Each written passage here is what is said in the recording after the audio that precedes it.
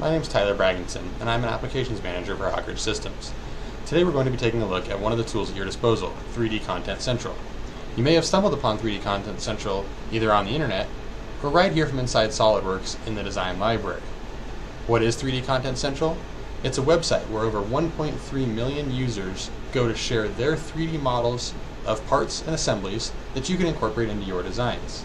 Many of those users are direct suppliers putting their components online for us to download. Let's take a look at my model of a drawer. This drawer needs to fit into a desk I'm working on. To make sure it fits correctly, I want to go ahead and add some hardware, such as the drawer slides. Rather than taking the time to model up the drawer slides myself, I'll utilize 3D Content Central to go and find the correct hardware.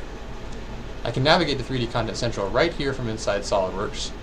It's broken up by supplier content from the manufacturers or user supplied content. I'll choose supplier content. Then I can choose whether I want to look by category or by the suppliers themselves. If we choose to look by category, this will open up 3D Content Central's category listing. Within the category list, there's over 300 different categories from motors to electrical hardware to all sorts of other components. Rather than searching through this entire list for drawer slides, I'll utilize the advanced search functionality and just do a simple search for drawer slides. This will narrow it down to all the drawer slides within 3D Content Central, over 101 results. I can scroll through the list until I find a 16 inch drawer slide. Here's one from TCH. I'll click on the component, which will give me a nice preview and some more details on the actual part. The 3D preview is powered by eDrawings, which means I can actually rotate and take a look at this model completely in 3D right here from the website. If this is the part I'm after, I can go ahead and configure it. Any component that has multiple configurations or size variations will have the ability to configure it. I can choose for this one if I want it to be in extended position or the collapsed position. I'll choose extended. Next I can even specify what kind of file format I want. Am I looking for a 3D file or just a 2D block? I'll stick with 3D, and you can see that I can not only download in SOLIDWORKS, but all sorts of other file types as well. That means you non-SOLIDWORKS users are still welcome to use 3D Content Central. It will require you to create a login, but don't worry, it's completely free. All it asks for is your email address. I'll choose a SOLIDWORKS part and assembly, and then I can even specify which version of SOLIDWORKS I'm using so I don't end up with a future version error. Then I can go ahead and download the file. Once it's ready for download, just click on the part number and your download will begin.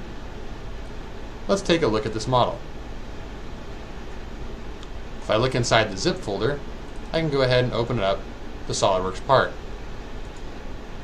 You'll notice that this came in as a part rather than an assembly. That's because it's been defeatured.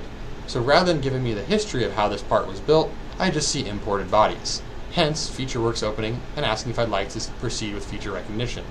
I don't necessarily need to see the tree since I'm only using this for fit, so I can go ahead and say no. Now I have the extended drawer slide. I can simply put this into an assembly and use it in the extended position to make sure that the drawer opens all the way. If you want to go one step further, you can actually split out the three bodies here into individual parts and create an assembly and use a few mates to make it function like a real slide. I've gone ahead and done that already and put it into my desk. Here you can see my drawer slide is attached to the drawer and to the desk and because it's a flexible assembly I can actually open and close my drawer and check for functionality. Looks great. With 3D Content Central, I can easily add components, such as hardware, like drawer slides, to my models without spending the time of modeling my, them myself. Take the time to explore 3D Content Central and see what you can find that will help you in your designs. Today we took a look at 3D Content Central. Thanks for watching.